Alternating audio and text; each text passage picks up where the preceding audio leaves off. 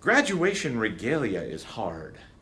No matter how hard you try, things just don't turn out right. If only there was some way to make preparing your graduation regalia easy.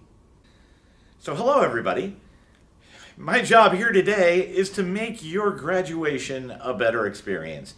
And that's because I'm here to teach you what is possibly the hardest thing since first semester's exams how to wear your graduation regalia for the graduation itself. So, first we start with this. This thing is a TAM. And you're wondering, wow, I've never seen one of those. Well, that's probably because you're used to the idea of the mortarboard, right? Well, the TAM is way cooler.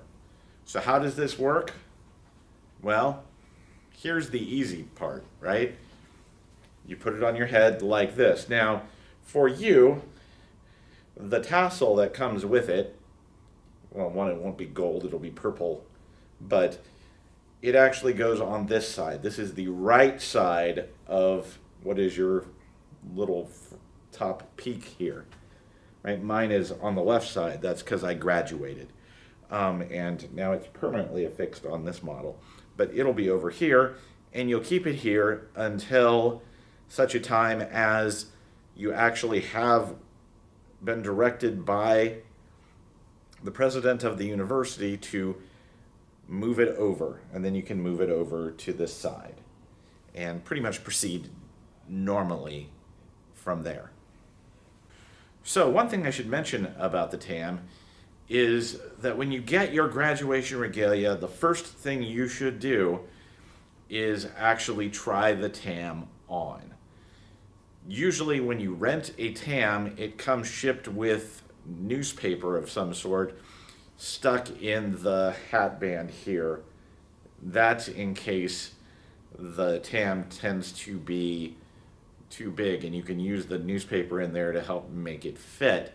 Uh, if you've got a gargantuan head like I do, um, you may find that you'll need to take the paper out so that it will fit on your head. And if your hair is especially big, you may need to figure out if you want to bobby pin it in place or do something to make sure that it does not fall off.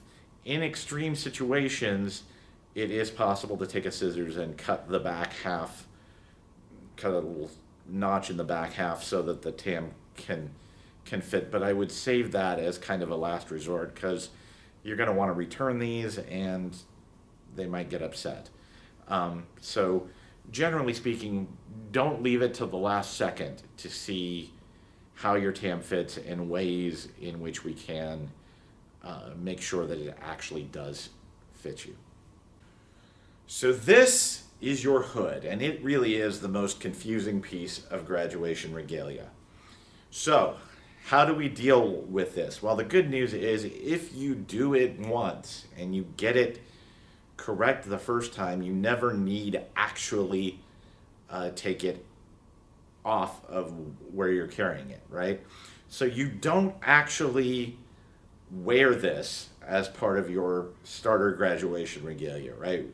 You carry it and then it is put on you uh, by members of the faculty when you go through the graduation line, right? The hooding ceremony.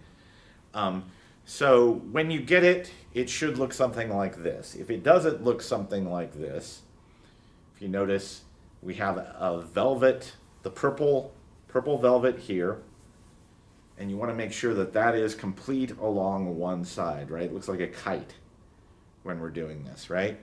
Okay. Get it so that it looks like this, where the velvet is on the outside. The inside is actually for the Washburn hoods is there should be the blue. The blue stays on the inside. It's the thing that's going to be shown when the hood actually gets put on and fluffed up. But for you guys right now, you want to keep it this way, right? Okay, then you take it and you're going to do it, you're going to loop it and you're going to loop it over your right arm because that is the way we go in for the hooding, and so you want to make sure that the hood itself is in the arm that is presented to the person who will be doing the hooding so they can just grab it, flip it, and whoosh, you'll be hooded in pretty much no time. So how do we do that? Well, as I say, we take it here, right? We got the got the velvet. So the thing you're going to want to do is the velvet is going to your elbow. So you want the velvet to your elbow and you want the point facing forward, right? So that's velvet to the elbow, point forward. And if you do that correctly, you can just carry it like this all the way up until you're hooding, right? And then, so velvet to the elbow, point forward. You can't go wrong. And then when you walk in graduation, you'll have it like this. You can just present it, they can grab it, and they can hood you from there. Um, on the day of, I'll come check and make sure everybody's got this, but velvet to the elbow, point forward. Um, the one other thing about this is that your hood may have a button right here with a corresponding cord. You want to make sure that is unbuttoned because if you button it, then it will not actually fit over your head and you may end up in the unenviable position of being strangled by it on stage as they try and get it over your head. So make sure that your little cord here, see the cord here? Make sure the cord is not connected to the button. Uh, once you have been hooded and you are safely back in your seat uh, for the ceremony, you can have a friend clip that round you. But uh, for the most part, just leave everything unbuttoned. Right? So start here velvet to the elbow, point forward, get it so that it's about even in size, and you are ready to march.